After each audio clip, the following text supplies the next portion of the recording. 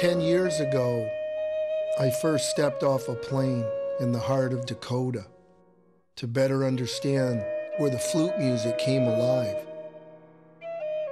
I recall standing on the banks of the great Upper Missouri River with Keith Bear. I began to listen to Keith speak of his Earth Lodge people. This instrument, almost lost in time, has come to life today with its sounds of love and its unique natural connection with the earth.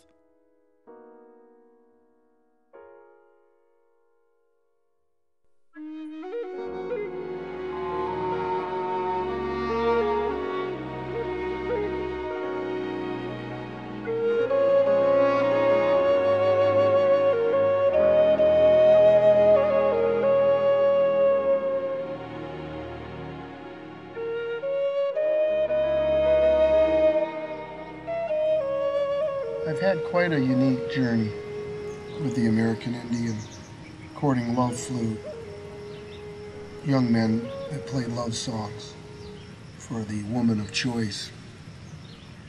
I'll always remember the melodies, the friendships, the travels, songs I've learned along the way. I always share them with a certain respect and dignity that they deserve.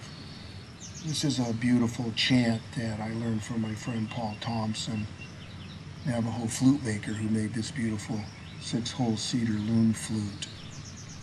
His mother used to hum this song, and he remembered it as a child, and it's been passed on. It's called Shinasha, or I Am Walking, Beautifully Walking.